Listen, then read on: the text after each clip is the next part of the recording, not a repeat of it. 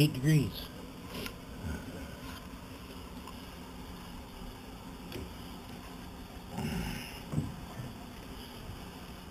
It's pretty important, I guess, from uh, for these Python drives that they be lined up perfectly. So what I'm doing here is I'm uh, putting in two backing blocks that the bulkhead will um, put up against and that will transfer the force from the bulkhead into the stringers. Should be more than strong enough, will be an inch thick when I'm done. The bulkhead itself is an inch thick on the top, has a doubler and uh, just on one side so I'm going to go ahead and do the other side now and just double check and make sure they're parallel and then I'll glue them in place.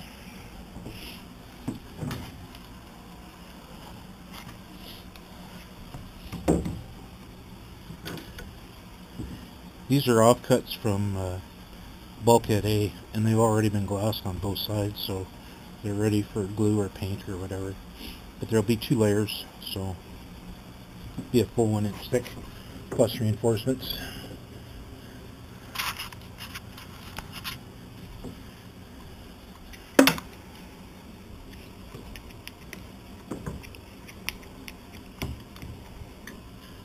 Let's check our alignment at the top. And this for my buddy Matt in Australia. My handy dandy uh, bubble level on my iPhone. It's probably the most accurate one I have.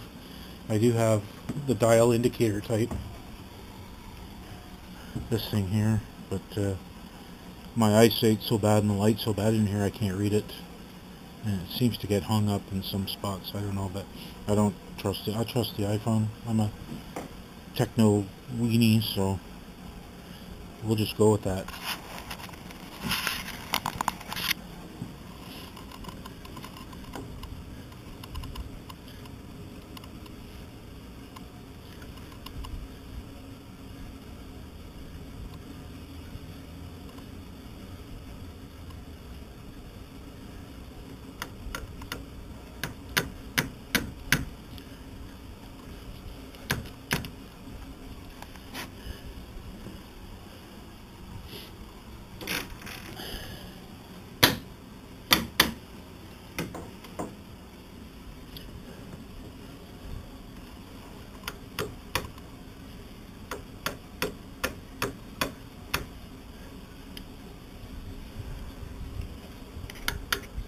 Like a bitch.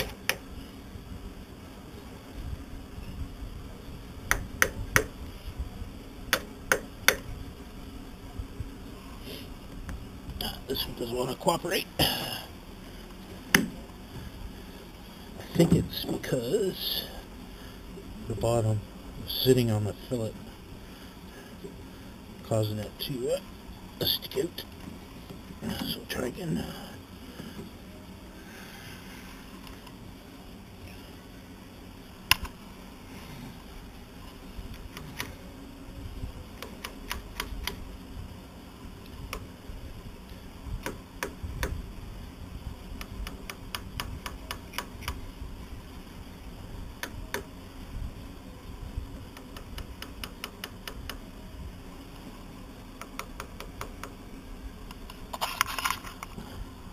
Eight degrees. So what I've done here is I've got four half inch blocks that I cut out of the scrap that came off of bulkhead A and uh, I'm gluing them together to uh, make the buttress blocks that the Python drive will push against. So we're just gluing them together. These will set up and we'll be ready to use those tomorrow. Glue them in place. They'll just transfer the force from the thrust bearing to the stringers.